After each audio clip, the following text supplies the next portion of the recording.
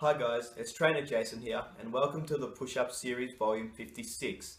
Today we're going to go through a medicine ball push-up where we're going to use two balls and have our hands and feet on the ball at the same time. Set up two medicine balls on the floor, a little wider than shoulder width apart and level with your shoulders. Place a hand on each ball, extending your arms, switching the core on, keeping your body straight, and coming up onto your toes, keeping both feet close together. Breathe in as you bend at the elbows, lowering your body towards the floor until your chest almost touching the floor, keeping balance on the balls. Breathe out as you extend at the elbows, coming back up to the start position, and then repeating the exercise for the desired amount of repetitions. By using two medicine balls, you can lower down further than what you usually could in a normal push-up, giving an added stretch throughout the movement, as well as working on your shoulder stabilizers.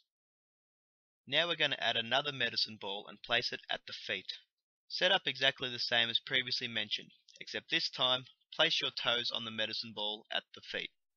Perform the push-up as previously explained, taking extra care to keep your balance throughout the entire movement on all three medicine balls.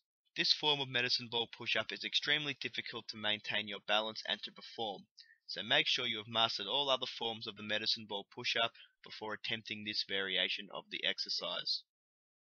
So there's that variation of the medicine ball push-up. If you like this video, please share on Facebook and Twitter, and if you have any questions, leave me a comment below, or you can message facebook.com forward slash trainer Jason Romeo or twitter.com forward slash TJR Fit Assist. I'll see you next time, guys.